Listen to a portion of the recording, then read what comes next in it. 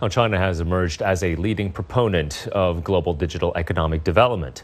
Through increased international collaboration and partnerships, the country is actively working toward creating a shared digital future.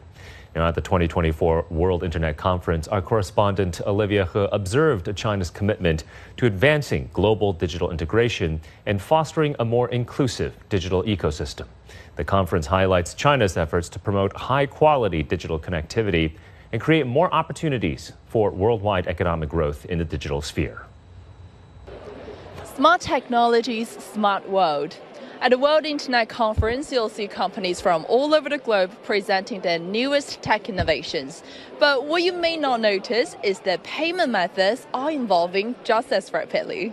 At Alibaba, we've developed a strategy for buying globally and selling globally through the creation of online trade platforms like the EWTP and leading e commerce sites.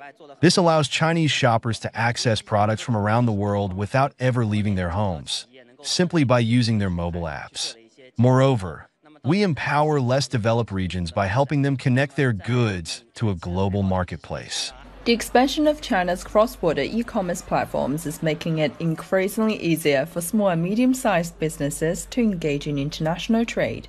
This evolution not only presents exciting opportunities for producers, but also enhances consumer options, ultimately fostering a vibrant marketplace on a global scale.